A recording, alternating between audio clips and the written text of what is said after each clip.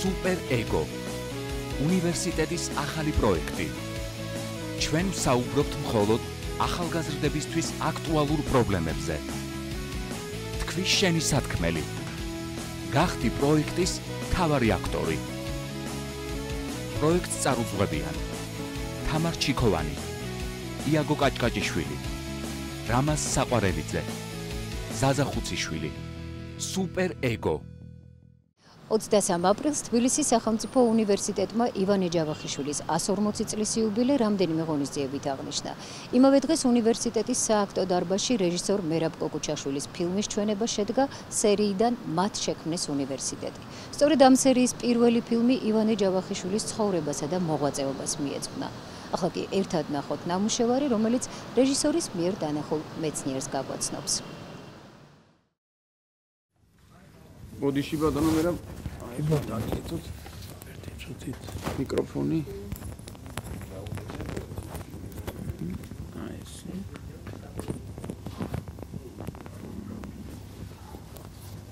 ო აი ეს ფოტოკოპია კიდე კოკურეშენ მადლობთ. აჰა აი ეს სუ ადრე სუ მინდრები იყო იცი და საძოვრები იყო ამ ადგილზე. ეს კიდე ეს არის ვერესუბანია იცით? ეს გაბაშვილების საკუთრება იყო მაშინ. ერთი კაცი დადიოდა გასო ნიკო წხედაძე და ამბობდა რომ თუ ეხლა აკაპიკები ღირსო მიწაო არა? აი ნახავთო 60 წელიწადშიო თუ მან ეღირებაო და ჩვენ აქ უნდა ავაშენოთ თეთრი კათკათა სახლიო. ნუ ყველა ეძახდა რომ ცოტა დარეხვილი არისო, შერეკილი არისო. მაგრამ იმ ნათხოვარი ფულით 1900 წლის 14 ოქტომბერს მოახერხა და აკურთხა ეს მიწა მომავალი გიმნაზიისთვის. აი მაშინ უკვე თითქოს დამშვიდა, დადინჯდა და ამბობდა რომ ეს ჩვენ გამოგვადგებო, აქო ჩვენი ქართული უნივერსიტეტი იქნება. აი იმათ ვინც ხელი შეუწყეს მშენებლებს და ვინც შესაწირი გაიღეს ჯილდოთ აი ამ ხეების დარგვის უფლება მისცეს.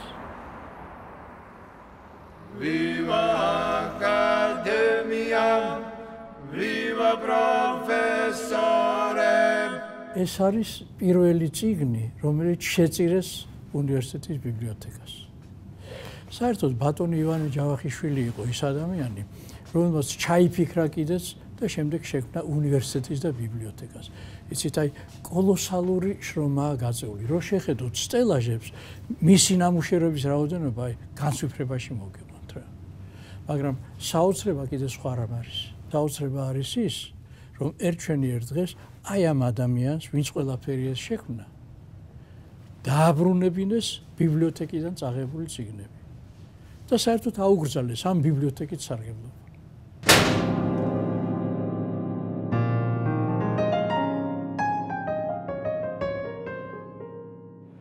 1850 წლის 14 იანვარს აი სწორედ ამ დარბაზში პირველი გიმნაზიის დარბაზში დაიდგა გიორგი ერისავის გაღრა. აი ამ გვირებისთვის ძალიან რთული იყო გაეგოთ რას ნიშნავს და ვინ არიან თერგდალეულები. ისინი თერგდალეულებს ადამიანებს, რომლებმაც პეტერბურგში და ევროპაში მიიღეს განათლება, აი თლად დაალაგებულს ვერ უწოდებდნენ რა. მაგრამ გავიდა სულ ორი ათეული წელი და ამ ადამიანებმა შეცვალეს სრულიად წარმოქმნა თერგდალეულებს.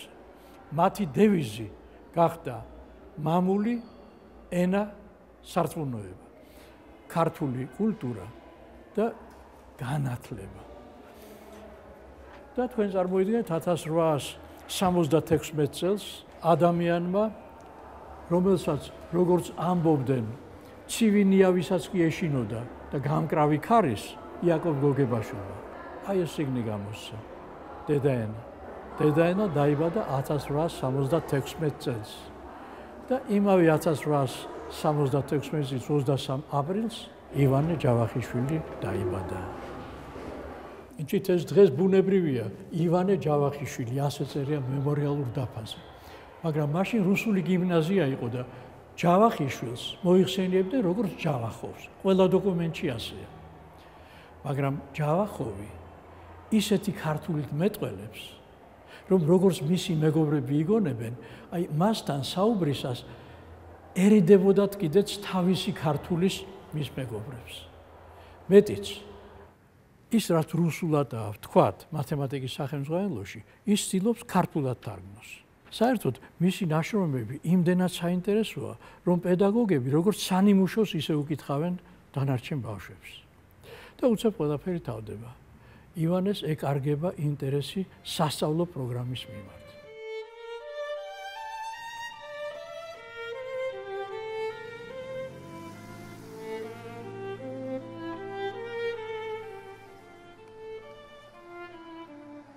ეს გატაცება მას მთელი სიცოცხლე გაყვება.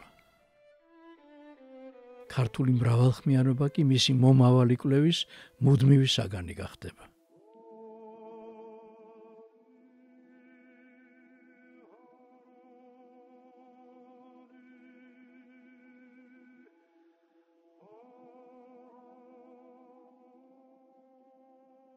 ზაფხულს გიმნაზისტი ივანე ჯავახიშვილი მშობლიურ სოფელ ხოვლეში ატარებს.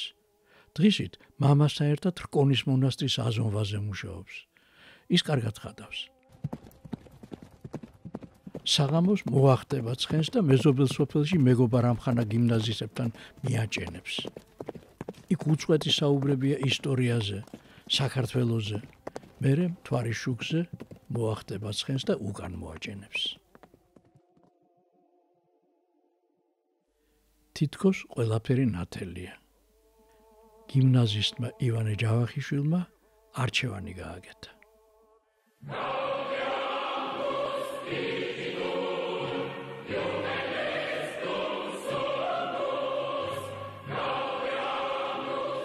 ივანე ჯავახიშვილი პეტერბურგის უნივერსიტეტის აღმოსავლეთმცოდნეობის კათედრის ქართული სიტყვიერების სტუდენტია. პროფესორი ნიკო მარია მისი ხელმძღვანელი.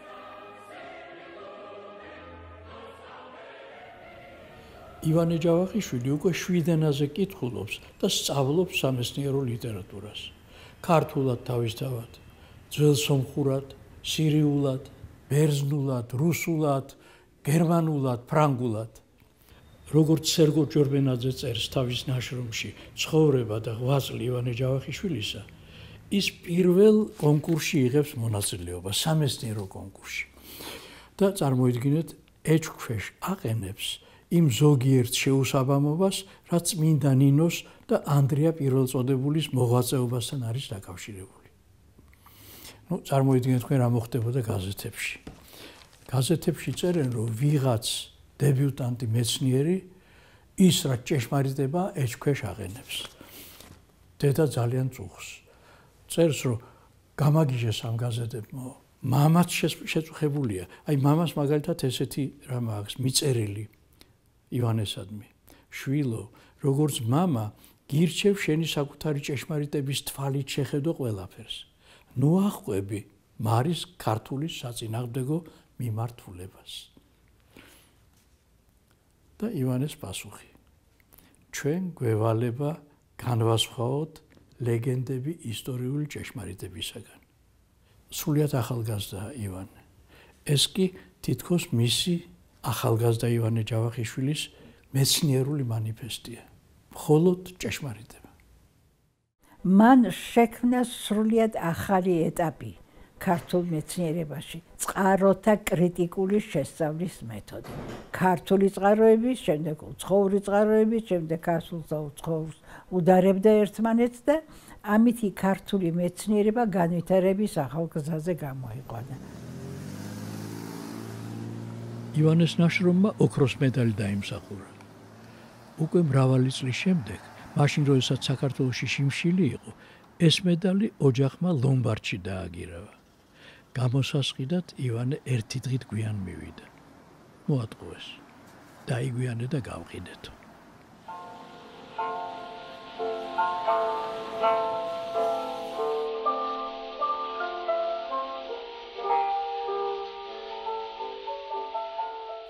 ერთ შენიერ დღეს სოლოლაკში ივანემ საშაქარლამეში შეიარა. კრემიანი ნამცხვარი მიირთვა და ისე მოიწამდა, რომ სიკვდილს ძლივს გადაურჩა. აი ამის შემდეგ მთელი ცხოვრება იზოლებული იყო, უმკაცრესი დიეტა დაეცვა.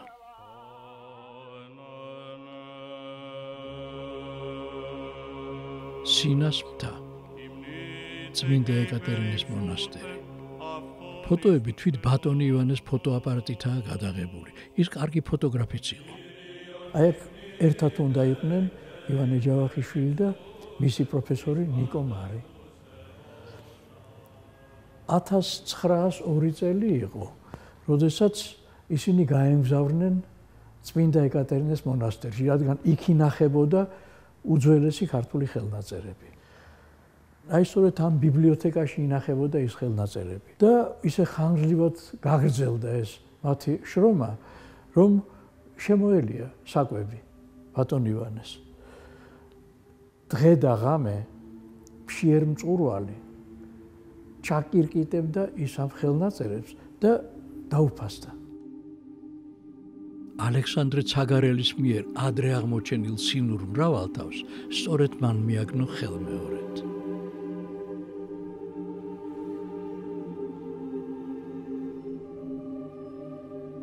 ბატონი ივანე შეუპოვარი ადამიანი იყო, მაგრამ ამავე დროს ის უაღრესად თავდაბალი იყო. იცით, მან ეს ხელნაწერი გადასცა შესასწავლად ნიკო მარს და თქვა, რომ მას გაცილებით უფრო მეტი უფლება აქვს ამ ჩვენი განძის შესავლის, ვიდრე მეო. ქართველი ერის ისტორია 1913 წელი.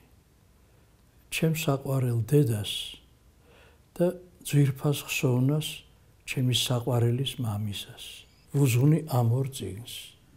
და ამ ორი წიგნის დაწერა რა დღირდა ამას ახლა მე თქვენ წაგიკითხავთ. თვით ბატონი ივანეს წერილია ვარლამ დონდუასადმი. მე ისეთ პირობებში მარგუნა ბედმა მოღვაწეობა, როდესაც საქართველოს ისტორიის არც ერთი სამეცნიერო დარგი არ არსებობდა.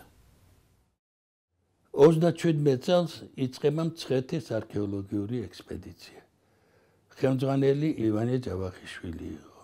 40 წელს არმაზის ხევში აღმოჩნდა სწორედ აი ეს პიტიახშთა სამარხები. ჩვენთან გავრცელებული იყო აზრი რომ პიტიახშთა ინსტიტუტი მე-5 საუკუნიდან იწყება. ივანე ჯავახიშვილის ნობელი ფრაზა მე წაგეკითხავთ ვინიცის რამდენი რამ გვექნება ამ აღმოჩენების შემდეგ შესაძლებელი და ხელახლა დასაწერი ჩვენ ისტორიაში? ამ აღმოჩენის შემდეგ დადგინდა რომ პიტიახშთა ინსტიტუტი საქართველოში არა მეხუთე არამედ ჩვენ წელთაღრიცხვის უკვე მეორე საუკუნიდან არსებობდა 2015 წელი არქეოლოგიური გათხრები გრაკლიან გორაზე. არქეოლოგიური კონტექსტის ცენტრალურ ნაწილში გამართული არის საკურთხეველი, რომლის პოსტამენტზე არის ამოკვეთილი წარწერა. ეს არის ერთ სტრიქონიანი წარწერა, რომელიც ჩემი წინასწარული მოსაზრებით უნდა იყოს ანბანური დამწერლობის ნიმუში და რაც განსაკუთრებულად მნიშვნელოვანია, იგი სრულიად უეჭველად განეკუთვნება ძველი წელთაღრიცხვის მე-7 საუკუნეს, რითიც საბოლოოდ დადასტურდა ბატონ ივანეს გენიალური მიხვედრა იმასთან დაკავშირებით, რომ საქართველოს ტერიტორიაზე ძველი წელთაღრიცხვის მე-7 საუკუნიდან გამოიყენებოდა დამწერლობა. მან ჩამოაყალიბა მთელი რიგი დისციპლინები, რაც საერთოდ ისტორიაში ცნობილი იყო, მაგრამ ჩვენთან ნაკლებად იყო განვითარებული. ეს იყო ქართული სამართლის ისტორია, ეკონომიკის ისტორია, ქართული მწერლობის ისტორია მთელი ტომი მიუძღვნა ამას. ეს იყო აგრეთვე ნუმიზმატიკა, მეტროლოგია, პალეოგრაფია, ქართული დამწერლობის მცოდნეობა. ცნობილი უნგრელი ქართველოლოგი მარტონ იშტვანოვიჩი ასე აფასებს ჯავახიშვილის მოღვაწეობას. ასეთი მეცნიერები მხოლოდ რენესანსის აღორძინების ხანაში იბადებიან. 1900 პირველ წელს რუსეთის განათლების სამინისტრო ეროვნულ უმცირესობებს სტუდენტური წრეების შექმნის ნებას რთავს. პეტერბურგში თავად ჯავახოვის ბინაზე თავს იყრიან ქართველი სტუდენტები.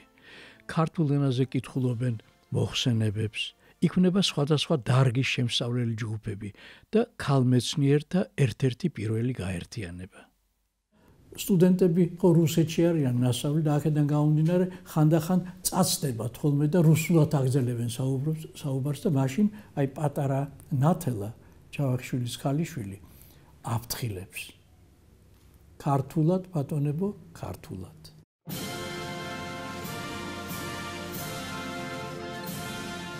1914 წელს რუსეთის მთავრობამ მიიღო კანონი კერძო უმაღლესი სასწავლებლების შექმნის შესახებ. ესე იგი ივანეს ოსნებას აღსრულება უწევია. ესე იგი გვექნება ქართული უნივერსიტეტი. ივანე ჯავახიშვილი როგორც ჩანს გრძნობს, რომ მარტო მისი ძალისხმევა არ არის საკმარისი. ქმნის აი ასეთ ანკეტებს. ის ცდილობს გაარკვიოს, რამდენი ქართველი სტუდენტი სწავლობს. და აგზავნის ყველა სასწავლებელში მოსწავლე ქართველებთან.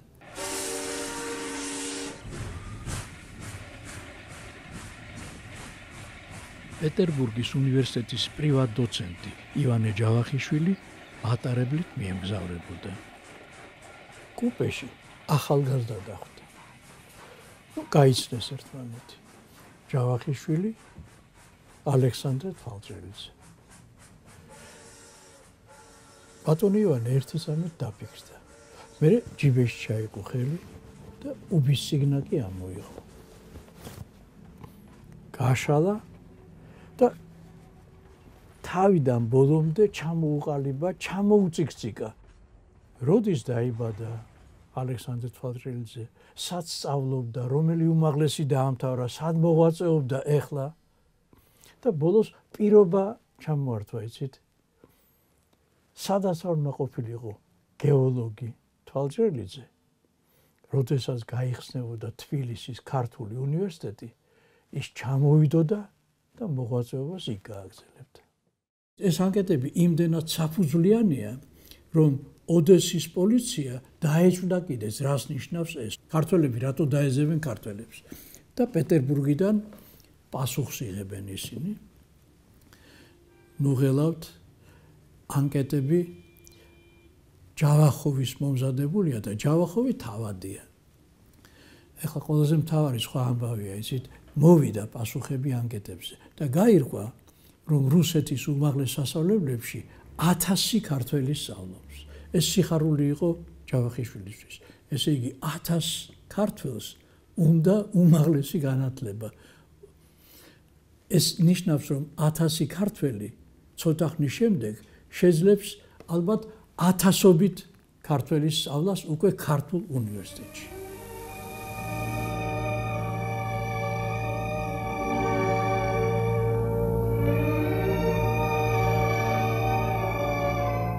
ათასრასთოთხმეტ წელს ქართველებს ვერც კი წარმოედგინათ, რომ სადღაც სარაევოში ნასროლი ტყვია აბსოლუტურად არევდა ყველაფერს ევროპაში. დაიწყო პირველი მსოფლიო ომი. სხვა შორის ომი ყველგან ერთი და იგივე არევდარევის მონტანია. საქართველოში, როდესაც სამოქალაქო ომი იყო 90-იან წლებში, აბსოლუტურად იგივე ამბები მოხდა.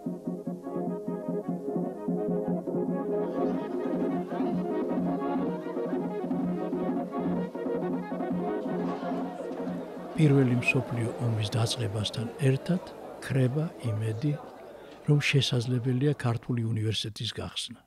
ივანე ჯავახიშვილი აგზავნის თავის ოჯახს თბილისში და თვითონ პეტერბურგის უნივერსიტეტში რჩება. ბატონი ლალი ჯავახიშვილი, ივანე ჯავახიშვილის ვაჟი, იხსენებს, რომ ივანეს ცხოვრებაში თითქოს რამოდენიმეჯერ ჯადოსნური კვერთხი დაიქნიესო. 1917 წლის 2 მარტს ნიკოლოზ მეორეს манифესტი გამოქვეყნდა. იმპერატორმა სრულიად რუსეთისა, მეფემ პოლონეთისა, დიდმა მთავარმა ფინეთისა და სხვათა და სხვათა სასიკეთოდ ვცანით. რუსეთის სამეფო ტახტზე უარი განგვეცხადებინა. და ამის შემდეგ იწყება მოვლენების კალეიდოსკოპიური განვითარება. აი სწორედ ამ შენობაში ივანე ჯავახიშვილის ბინაზე იკრიბება პეტერბურგის ქართული საზოგადოება. სამი საკითხი აზუხებს ყველას. ავტონომია, ავტოკეფალია და ქართული უნივერსიტეტი. ნიკო ნიკოლაძე ფიქრობს, რომ პოლიტექნიკური სწავლებაა საჭირო. ნიკო მარი თვლის, რომ ქართულაზე სწავლება საერთოდ შეუძლებელი არის. არც სახელმძღვანელოები არის და არც პედაგოგები ვისაც შეუძლია ეს საქმე აკეთოს. ეს კიტააბაშიძეა 11 მარტს ივანე ჯავახიშვილი უკვე წერს კიტააბაშიძეს რომ საუკუნეზე მეტია ასეთი ჟამი და ასეთი დრო საქართველოს არ დადგომია. კინოთეატრი ელიტი. აქ შეიკრიბა მთელი პეტერბურგის საზოგადოება. და ივანე ჯავახიშვილი აკეთებს არაჩვეულებრივად საფუძვლიან მოხსენებას, რომელიც შემდეგი სიტყვებით თავდება. დროა ჩავაწყოთ ჩემოვნები და გავწიოთ სამშობლოსაკენ. და მართლა ორ თვეში ის უკვე საქართველოსია. აკაკი შანიძე ახტაცებულია ივანეს გამოსვლით, იფიცებს, რომ სულ მესამე კლასის ვაგონით რომ მოუწიო საქართველოსი მგზავრობა, ფეხზე დგომით მზად არის წავიდეს. და მართლა ჩადის. თბილისში ხალხი მზად არის იმისთვის, რომ შეიქმნას უნივერსიტეტი და 1917 წლის 12 მაისს ჩატარდა უნივერსიტეტის დამფუძნებელი საზოგადოების წევრების შეკრება. უკვე 17 მაისს ჯავახიშვილი ქუთაისშია. იქაც მხარდამჭერთა ჯგუფი გაჩნდა, თუმცა ქვეყანაში ფული არ არის. მაშინ აცხადებენ ლატარეას. მაგრამ სანამ ეს ლატარეა თამაშდება, ფული ისე უფასურდება, რომ შემოსავალი თითქმის არ არის. და მიუხედავად ამისა, შემოწირულობები მოდის და მოდის და ახალი კვერთხის დაქნება. რუსეთში ოქტომბრის რევოლუცია. ის კადრები, რასაც ჩვენ ახლა ვხედავთ, მხატვრული ფილმიდან არის. ეს ეიზენშტეინის მიერ გადაღებული კადრებია, მაგრამ ყველა თვლის რომ ეს დოკუმენტური კადრებია. მაინც ყველაზე მთავარი ის არის, რომ ოქტომბრის რევოლუციასთან ერთად საქართველოს შორდება რუსეთს. 1917 წლის 6 დეკემბერი იყო, როდესაც უკანასკნელად შეიკრიბა უნივერსიტეტის დამხმარე საზოგადოება. ივანე ჯავახიშვილმა წაიკითხა არაჩვეულებრივად მომზადებული მოხსენება.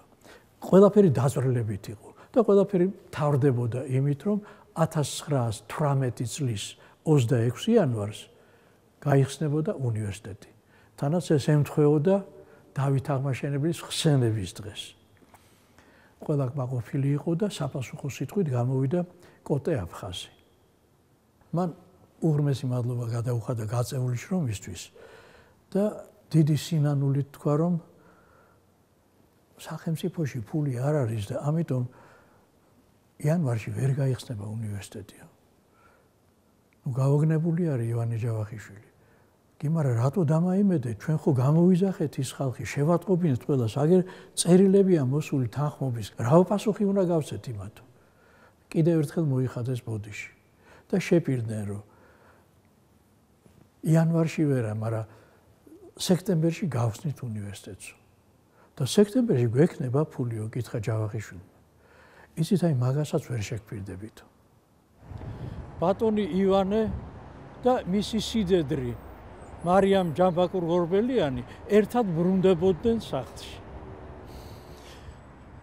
აი როგორც ქალბატონი მარიამი ყვებოდა შემდეგ ბატონ ივანეს ხელკავით მიყავდა ის და ხელი უკანკალებდა ისით.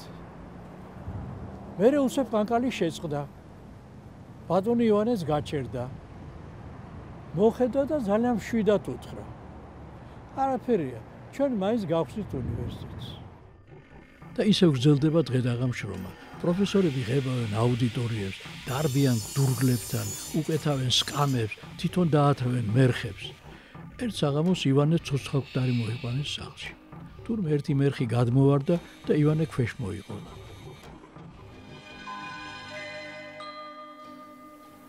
1918 წლის 13 იანვარია. გაყინულ აუდიტორიაში ჩატარდა რექტორის არჩევა. გამგეობა ბუნებრივია ივანე ჯავახიშვილს ასახელებს. ივანე კატეგორიულ უარს აცხადებს და რექტორად ცნობილ მეცნიერს აკადემიკოს პეტრე მელიქიშვილს ასახელებს. ივანეს არგუმენტები ჭრის. პეტრე მელიქიშვილი უნივერსიტეტის რექტორია. 1918 წლის 26 იანვარს აი სწორედ ამ დარბაზში ჩატარდა უნივერსიტეტის გახსნის საზეიმო სხდომა. ფული კლავ არ არის. პროფესორთა საბჭო იღებს გადაწყვეტილებას, რომ ზეიმი ჩატარდეს დიადი უბრალოებით. ну ეს უბრალოება იმდენად დიადია, რომ დღეისაც არც ერთი ფოტო არ არსებობს ამ ზეიმის. სამაგიეროდ უნივერსიტეტში 369 სტუდენტი სწავლობს. 89 თავისუფალი მსმენელია.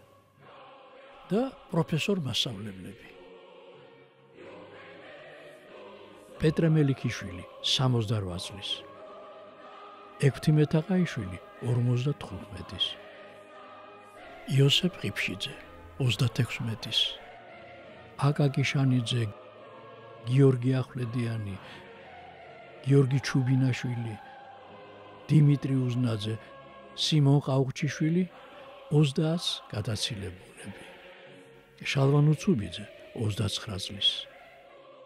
ივანე ჯავახიშვილი 42 წლის. პირველი ლექცია პირველ ქართულ უნივერსიტეტში ივანე ჯავახიშვილმა 30 იანვარს ჩაატარა. იმდენი ხალხი მოვიდა, კარი ვერ დახურეს. პიროვნება და მისი როლი ძველ ქართულ ლიტერატურასა და ისტორიაში. ფანტასტიკური არჩევანია თემის. ქართველი ერის ისტორია ეს პიროვნებათა უწყვეტი ბრძოლაა. აი თუნდაც ქართული კულტურა ავიღოთ. ქართული კულტურა ეს ინდივიდთა მრავალფეროვანებაა. აი გავიხსენოთ ჩვენი ქართული მრავალხმიანობა. ეს ხო თავისუფალ ხმათა უწყვეტი ჭიდილია ჰარმონიის მოსაპოვებლად.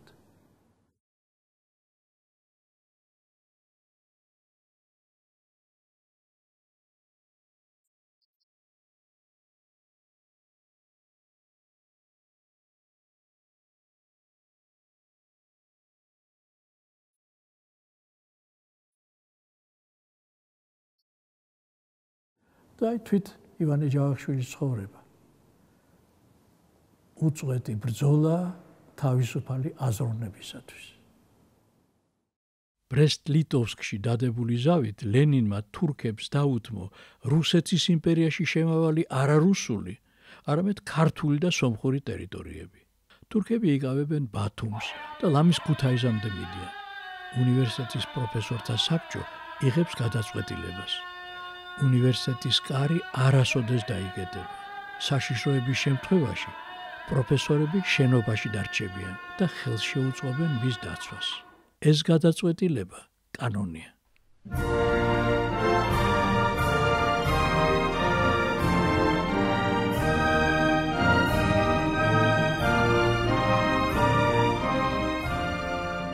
წლის 26 მაისს საქართველოს დამოუკიდებლობა იზეიმა. უკვე 11 ივნის ხელისუფლება თბილისის უნივერსიტეტს სახელმწიფო სტატუსს ანიჭებს. ესე არნიშნავს, რომ იცვლება წესდება. წესდების მიხედვით პროფესორთა საბჭო წეს ყველაფერს. ავტონომიურობა ასრული სახელმწიფოსგან დამოუკიდებლობა და პოლიტიკისაგან აბსოლუტური გამიჯვნა. იცით, ფული ქვეყანაში ისევ არ არის, თუმცა რაღაცნაირად ახერხებს უნივერსიტეტი მაინც გაფართოებას. აი ერთი წერილი არსებობს. ივანე ჯავახიშვილის რომელიც მან ნიკო მარს მისწერა და ამის მიხედვით აი რას წერს ივანე? რომ სამი წლის წინო თუ ჩვენ სულ სამი ოთახი გქონდაო დღეს 7 შენობა გვაქვსო 2800-ზე მეტი სტუდენტი არისო 39 პროფესორი. სამი წლის წინ 7 იყო პროფესორი სულ. და წიგცაცავში 115000 ტომი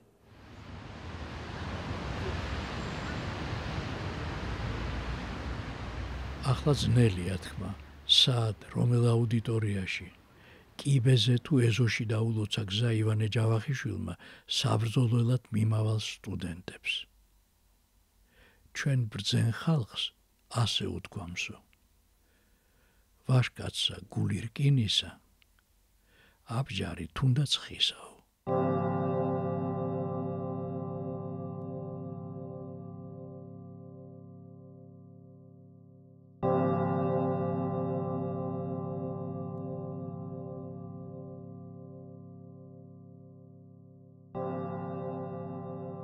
16 თებერვალია 1921 წელი. თელი ღამის განმავლობაში ექვთი მეთაყაიშვილი და ივანე ჯავახიშვილი აი სწორედ აქ ყუთებში ალაგებდნენ ქართველი ერის საუნჯეს იმ ექსპონატებს, სამუზეუმო ექსპონატებს, რომელიც უნდა გაერიდებინათ შემოსეული მტრისაგან.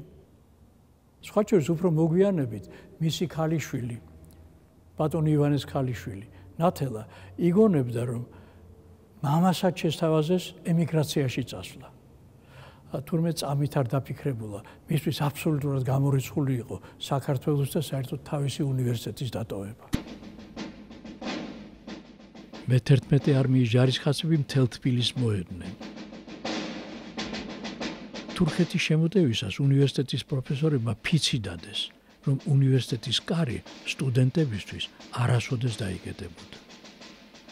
1921 წლის 25 თებერვალს ის სამწუხაროდ დაიკეტა. თუმცა მხოლოდ ერთი დღით. ივანემ აიღო გასაღები, შიგნიდან ჩაკეტა და თქვა: ახლა მოვიდნენ თუ უნდათ. მეორე დილასვე 26 თებერვალს ივანე ეწვია ახალ მთავრობას და მამია ორახელაშვილისაგან მიიღო მანდატი ქონების ხელშეუხებლობის შესახებ.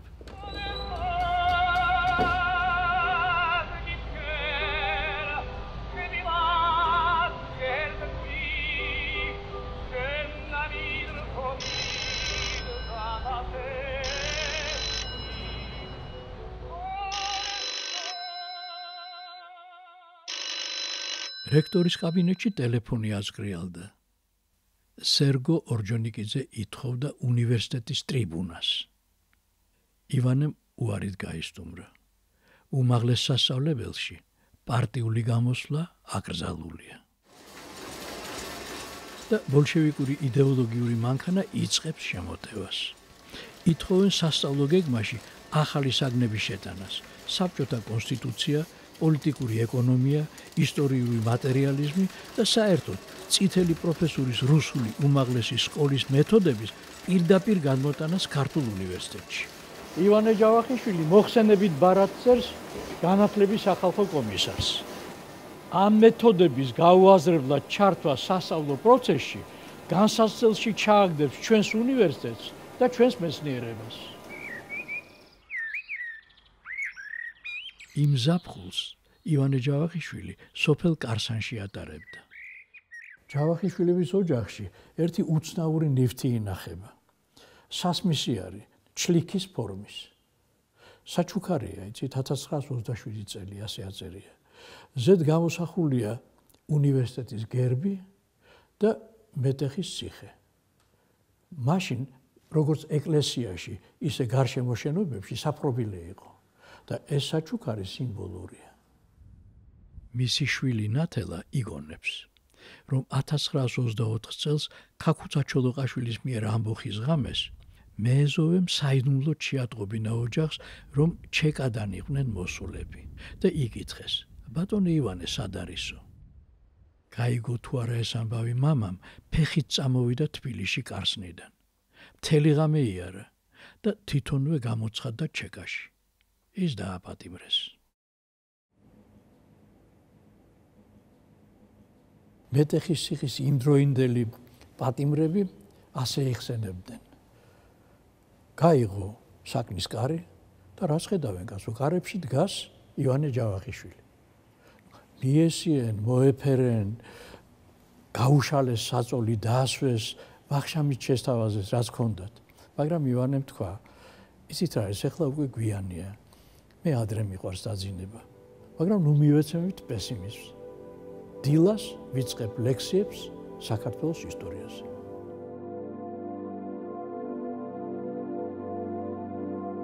გამთენეისას ისევ გაჭრიალდა საპრობილეს კარი და ვიღაცამ დაიძახა. ჯავახიშვილი, სვეშჩამი. თუმცა ეს დაპატიმრება როგორც ჩანს მაინც რაღაცას ნიშნავდა.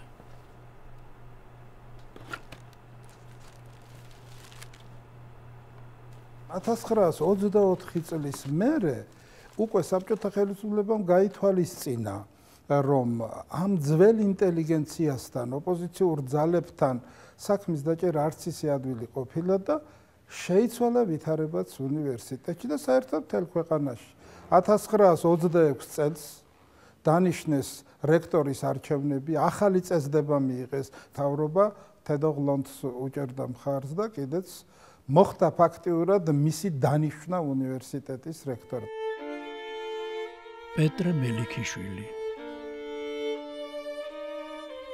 ივანე ჯავახიშვილი თედოღლონტი ეს იყო პირველი დარტყმა უნივერსიტეტზე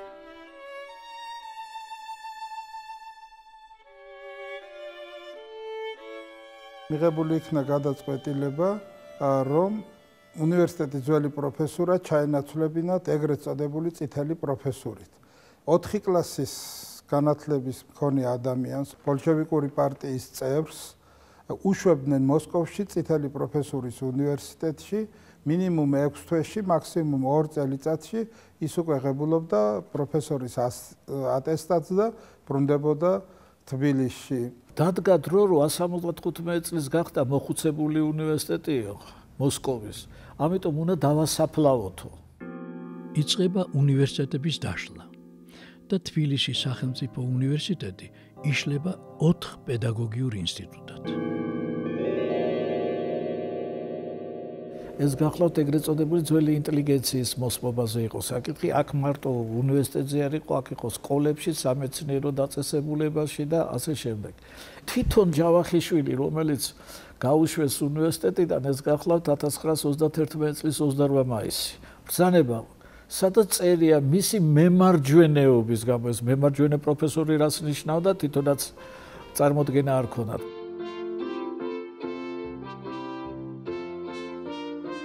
1928 წელს იზეიმეს უნივერსიტეტის დაარსების 10 წლისთავი. მაგრამ მისი დამაარსებელი არც გახსენებიათ და არც მოუწვევიათ.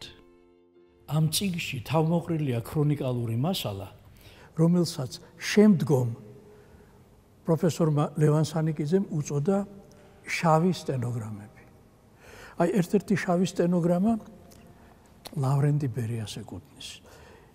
უფრო სწორედ ეს წერილი დასმენა უფროსების მიმართ რუსულად მიწერილი. ივანე ჯავახიშვილი სტუდენტებისთვის კერპია.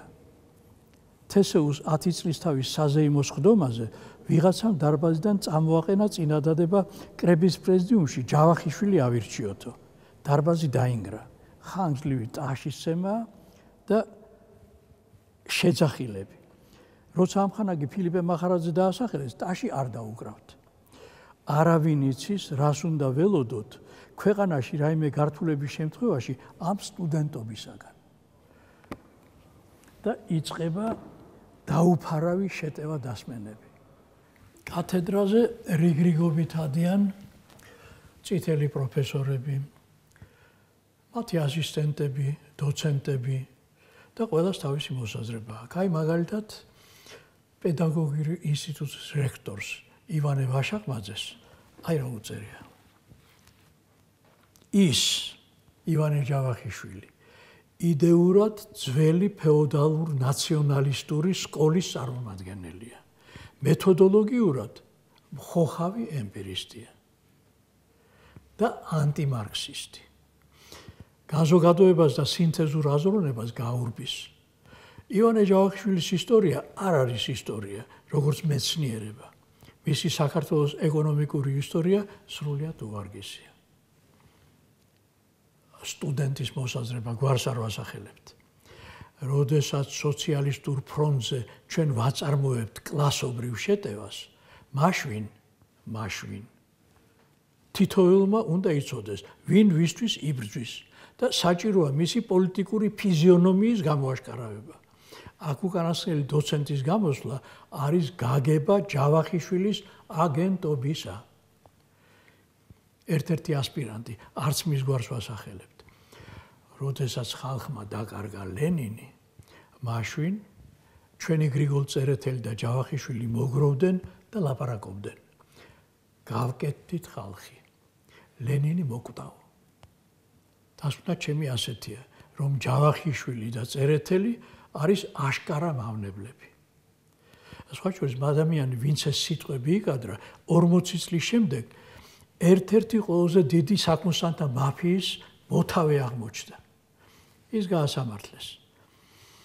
აი ამ დისკუსიისას ივანე ჯავახიშვილი დაიცვეს სიმონ ყაუხჩიშვილმა აკაკიშანიძე სიმონ ჯანაშიამ და ნიკო ბერზეშვილმა დაიცვეს თუმცა მათ ჯავახიშვილის სკოლის წარმომადგენლობაზე უარი თქვეს მაგრამ აქვე ისიც უნდა ითქვას რომ შემდგომი დისკუსიისას უკვე 10 წლის შემდეგ სწორედ სიმონ ჯანაშიამ და ნიკო ბერძენიშვილმა დაიცვეს კიდეც და გადაარჩინეს თვით ივანე ჯავახიშვილიც და მისი სკოლაც. დისკუსიის შედეგად პედაგოგიური უნივერსიტეტიდან გაანთავისუფლეს როგორც ივანე ჯავახიშვილი, ისე თელი ძველი პროფესორი.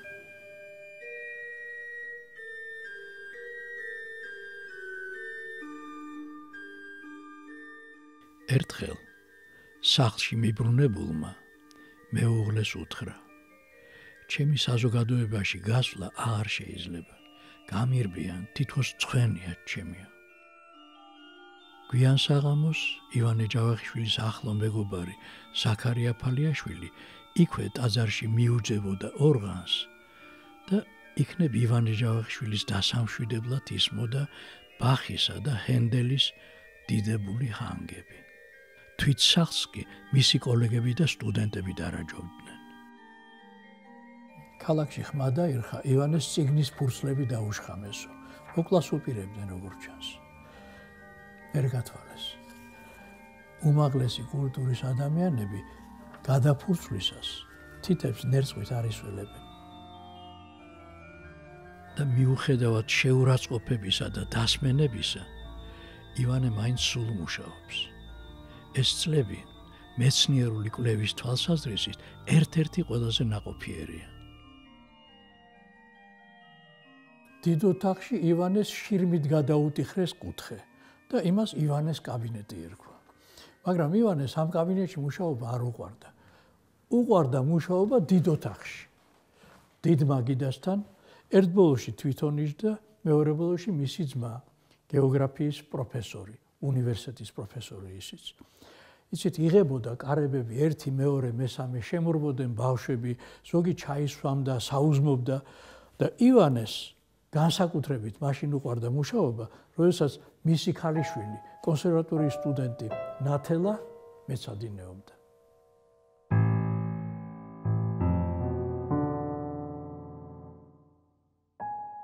მართალია წითელმა პროფესორამ ჩაიგდო ხელში განათლების სისტემის მართვა, მაგრამ ამ მართვამ სულ რამოდენიმე წელს იბოგინა. 1933 წელს უნივერსიტეტი კვლავ აღდგა. ივანე ჯავახიშვილი კვლავ ძველი ისტორიის კათედრის გამგეა.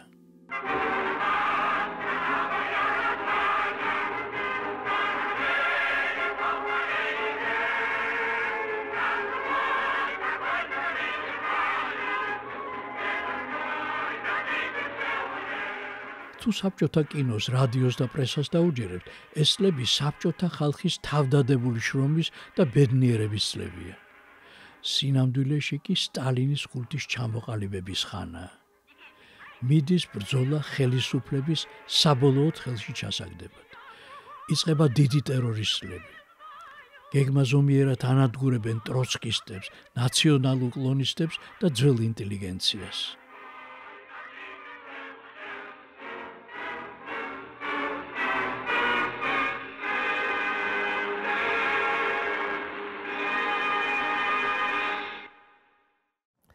1936 წელს ივანე ჯავახიშვილს 60 წელი უსრულდებოდა.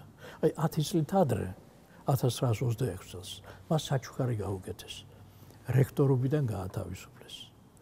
და 10 წლის შემდეგ ახალი რექტორი ახალ საჩუქარს უმზადებს. მზადდება დისკუსია თემაზე საისტორიო ფრონტზე მდგომარეობა. მაგრამ დისკუსიამდე კარლო ორაგველიძე მახალმა რექტორმა ლექციაზე შეუგზავნა მთვრალი სტუდენტები. ჯავახიშვილი იძულებული იყო გამოსულიყო. რომელ აუდიტორიაში, ან რომელ დარბაზში ჩატარდა ეს დისკუსია, ეხლა ძნელი სათქმელია, მაგრამ იყო დიდი დარბაზი. 20 გამომსვლელია. მოხსენებას აკეთებს კარლო ორაგველიძე, რექტორი. მის მოხსენებაში 10 თავია.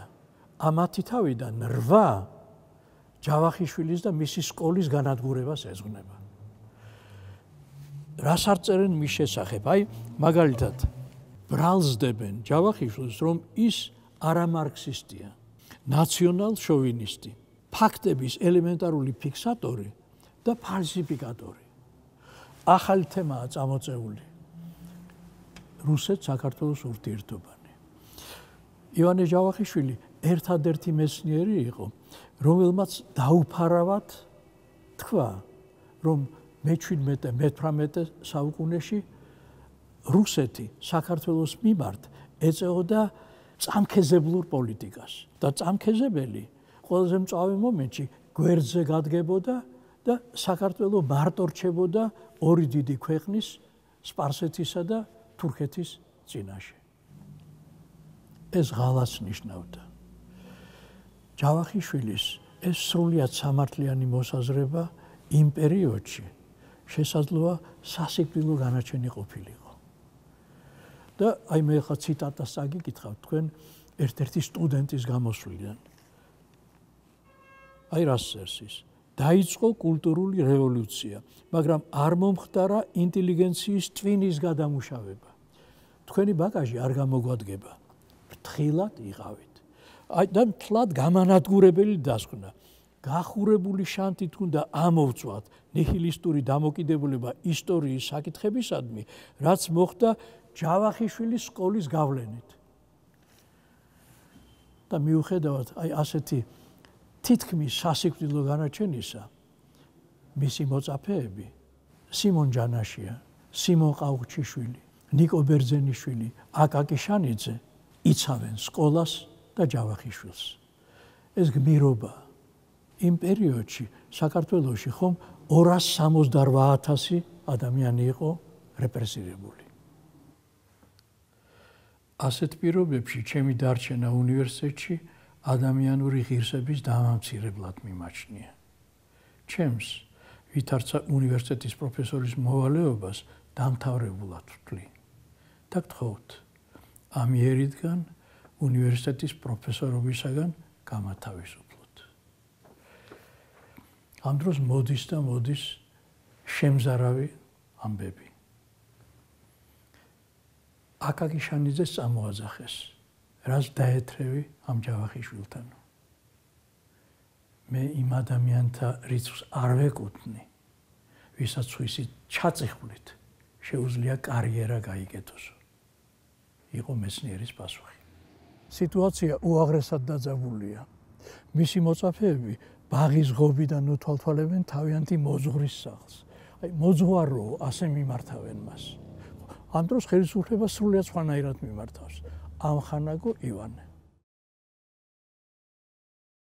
10 წელია რაც ეს დაუნდობელი ბრძოლა წარმოებს გულის ავადმყოფობის უძლიერესი შეტევა მქონდა და მაინც სულ მუშაობს და მუშაობს. ივანე ჯავახიშვილს კონსულტანტად იწვევენ საქართველოს ისტორიის მუზეუმში. კაბინეტი სარდაფის სართულზეა. ცივა.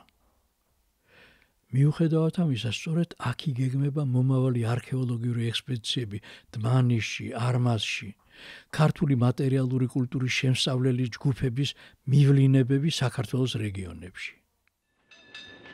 უკვე საღამოს სახლში ტრამვაი ბრუნდება. სამთარში ძალიან ციოდა. ვერატყობდნენ სახლს. უძრავად იჯდა. უწყვეტად წერდა. ეყინებოდა ხელები და სახსრები უსიდებოდა.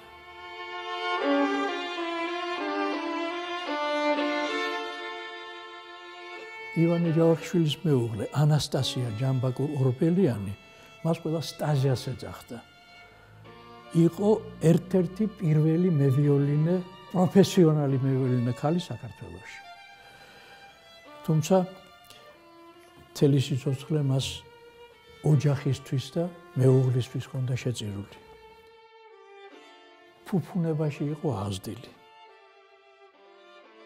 ისეთ პირობებში მოუხდა მას ცხოვრება, რომ ჯანმრთელობა გატეხილი მეუღლისთვის არაფერს არ თაკილობდა.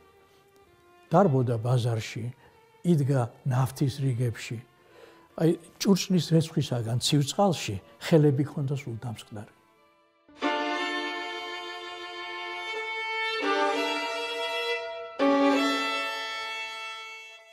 ივანე მუდმივი დიეტისგან ისე იყო დასუსტებული, რომ ექიმა კატეგორიულად მოითხოვა. ნოყიერი საკვები. ტვინის კოტლეტები, ქორფა მწვანილი და ღვინო, წითელი ღვინო. სტაზიამ ხუთში მიწა ჩაყარა, დათესა მწვანილი და ფანჯარაზე გადგა. აი როგორც კი ამოიწერებოდა, ქორფა მწვანილს მაგრატლიჭრდა და როგორც პატარა ბავშვი ისე აჭმევდა ივანეს. ღვინოსაც ისე ასმევდა კოვზით. ხორც კერძო დუქანში ყიდულობდა. ყასაბის უბუზგუნებდა, ვა, სუ ტვინი, ტვინი, ტვინი, ვინ აყავთ სახში ესეთი უტვინო?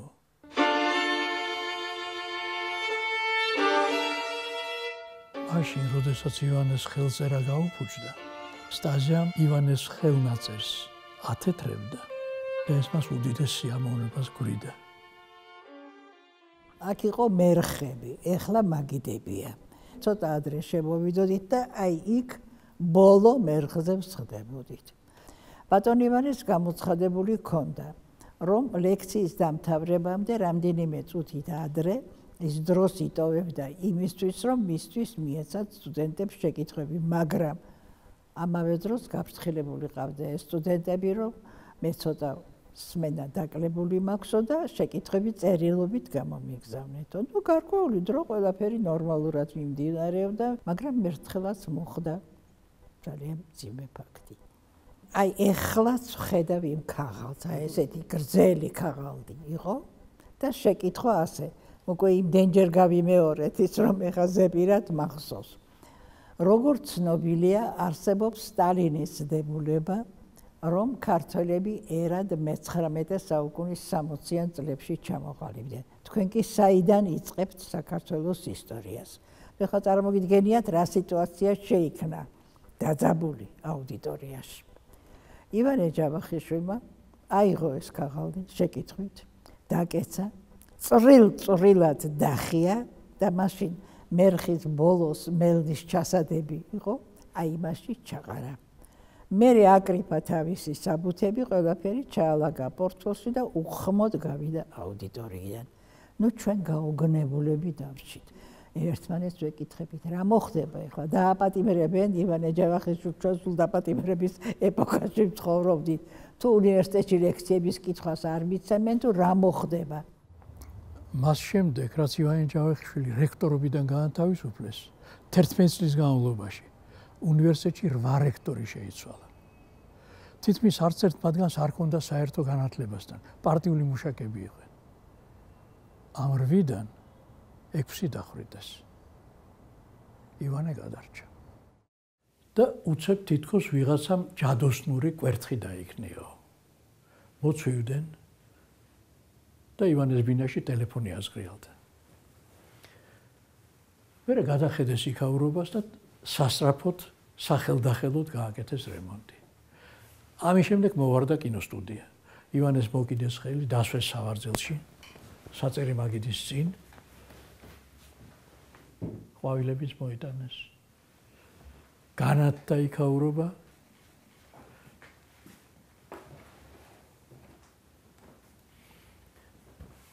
ივანემ თავაზიანად უარი თქვა. იცით აი ამ კადრების ნახვა, დოკუმენტური კადრების ნახვა, დღესაც შესაძლებელია.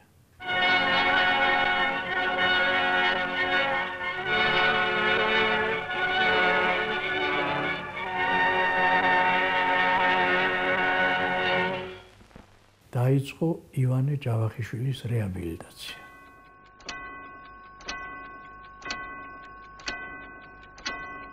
ლენინის გარდაცვალების დღიდან მოყოლებული სტალინი უწყვეტად იბრძოდა საკუთარი ძალაუფლების განსამტკიცებლად. დარწმუნებული იყო, რომ ეს იყო ერთადერთი გზა უზარმაზარი და ძლიერი საბჭოთა ქვეყნის შესაქმნელად. სისხლიანი ტერორი კი წამალია ყველა ჯურის მოწინააღმდეგის მოსასპობად. აი ეს მოწინააღმდეგენი მას ველური ქვეყნის შვილს ეძახდნენ.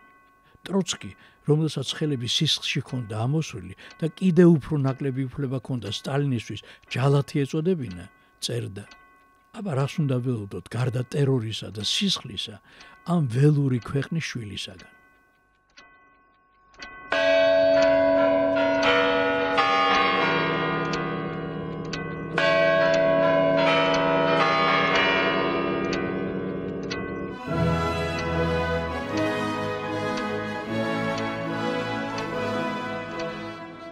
სტალინს წყალივით ჭირდებოდა ივანე ჯავახიშვილის ქართველი ერის ისტორია, ქართველი ერის დიდი კულტურა და მართალი ივანე ჯავახიშვილის სიმართლე. და დაიწყო.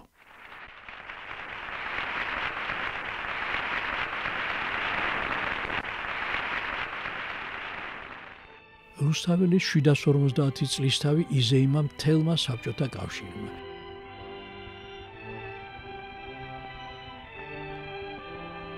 და არა მარტო საბჭოთა კავშირი. თბილისში რუსთაველისა და ვეფხისტყაოსნისთვის მიძღვნილი გამოფენის მოწყობა ივანე ჯავახიშვილს მიანდეს.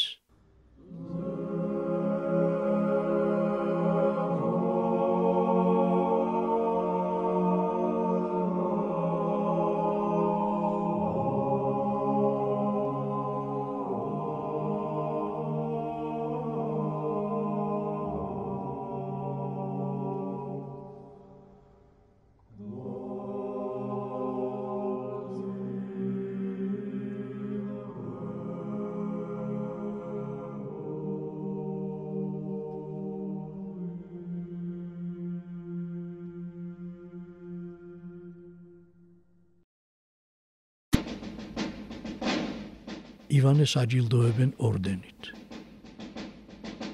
ირჩევენ მეცნიერებათა აკადემიის ნამდვილ წევრად. ირჩევენ უმაღლესი საბჭოს დეპუტატად და პრეზიდიუმის წევრად. ოჯახს კი მსუბუქ ავტომობილს მიამაგრებენ.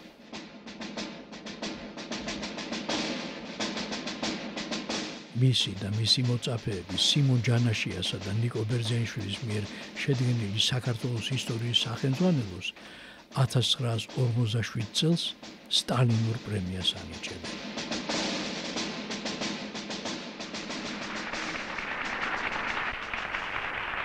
ის განსაკუთრებული პატივის ცემა სიყვარულის გამოხატულება რომელიც თქვენ ინებეთ მე მიმაჩნია გადაჭარბებულად ჩემდანვე ქართული გულუხობით აიხსნება ეს. მე ჩემ თავს ჩემს მოვაწეობას სრულებით ისე დიდად არ ვახასებ როგორც თქვენ გნებავ. ხშირად მე ჩემი მოვაწეობა წარმომიდგენია ისე როგორც ჩიანჭველა პატარა რომელიც ეფოთინება დიდ მარცვალს და მიაქს.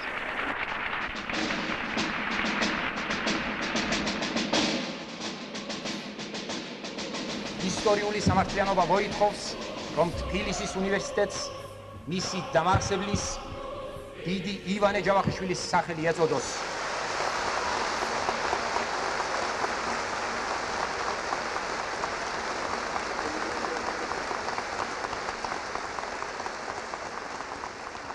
ათასცხრაასორმოცი წლის 18 ნოემბერია.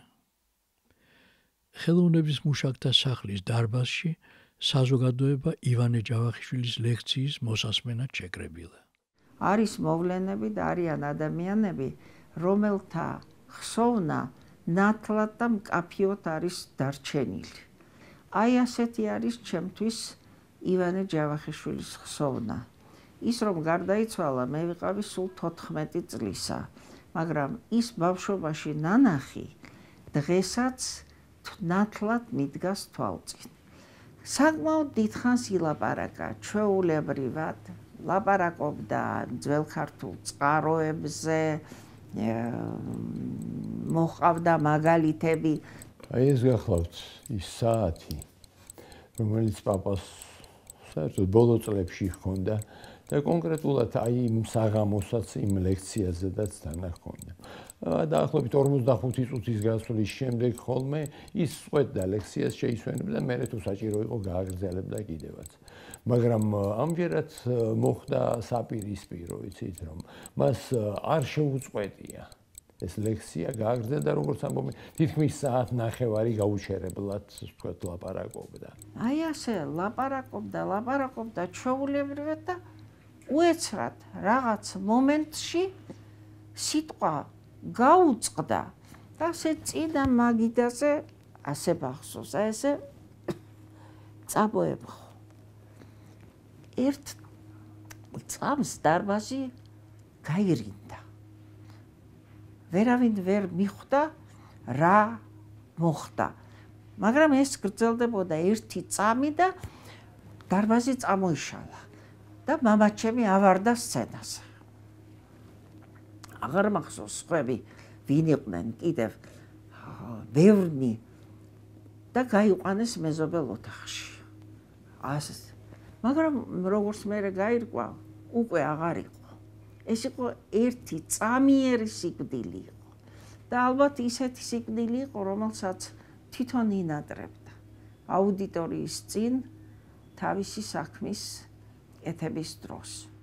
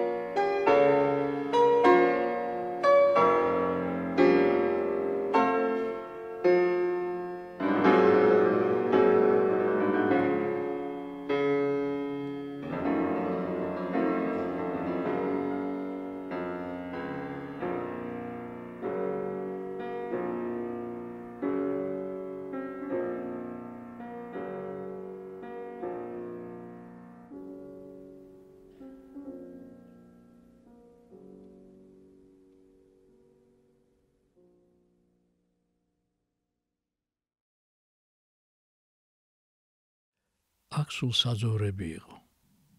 ყარნები, მინდვრები.